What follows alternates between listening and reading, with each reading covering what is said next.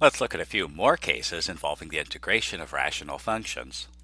For example, consider the integral 3x squared plus 4x plus 2 over the product x plus 3 times x squared minus x plus 5. Now the first thing to remember is that you can only apply the rational function decomposition theorem to proper rational functions. So we should verify that the numerator is a polynomial of degree 2. The denominator is a product of a degree 1 and a degree 2 polynomial, and so the denominator is a polynomial of degree So this is a proper rational function. Since the denominator is already factored, our theorem guarantees we can rewrite it as a sum of two rational expressions, where the denominators are the individual factors x plus 3 and x squared minus x plus 5, and the numerators are expressions with a degree 1 less than the denominator. So the numerator of x plus 3, a first degree polynomial, is a constant, which we'll call a, and the numerator of x squared minus x plus 5, which is a second degree polynomial, is some first degree polynomial, which we'll call bx plus c. Now since everybody loves working with fractions, we'll go ahead and find a common denominator and add, wait, wrong script. What I meant is that we really don't want to work with the fraction, so let's multiply through by that common denominator, x plus 3 times x squared minus x plus 5. And after all the dust settles, we have a much nicer expression to deal with. And we'd like to make this statement true for all values of x, so we'll pick a value of x that we want to work with, like pi over square root of 17. In this case, we might consider this factor, if x equals negative 3, this factor is 0, and so the entire term is going to drop out, and we won't have to deal with it, and we'll have a much simpler equation. So let's make sure it's true for x equals negative 3.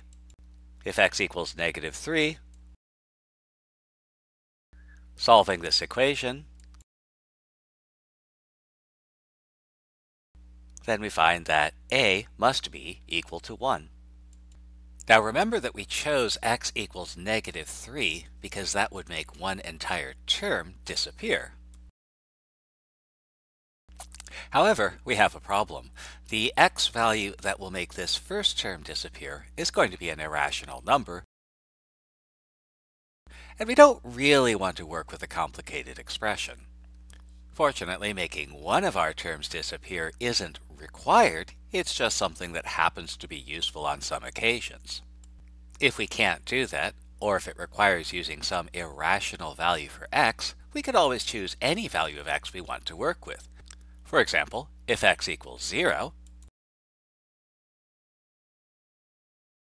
solving this equation, we find that c is equal to negative 1, and if x equals 1,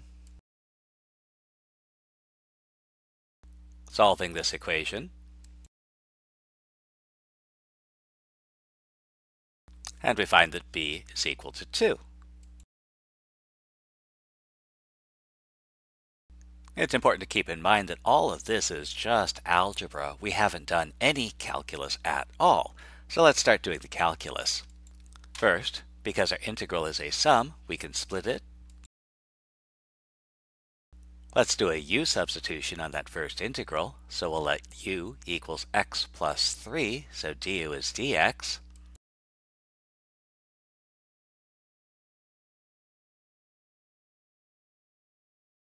And since it's possible that x plus 3 might be a negative number, we do need to throw the whole thing in absolute value.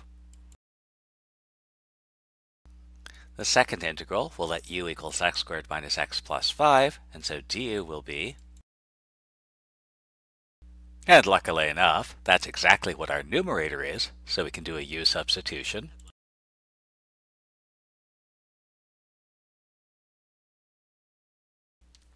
And again, we'll get the log of x squared minus x plus 5, which will enclose in an absolute value operator, Bonus points for those of you who recognize we don't actually need the absolute value operator in this particular case. And we get our final expression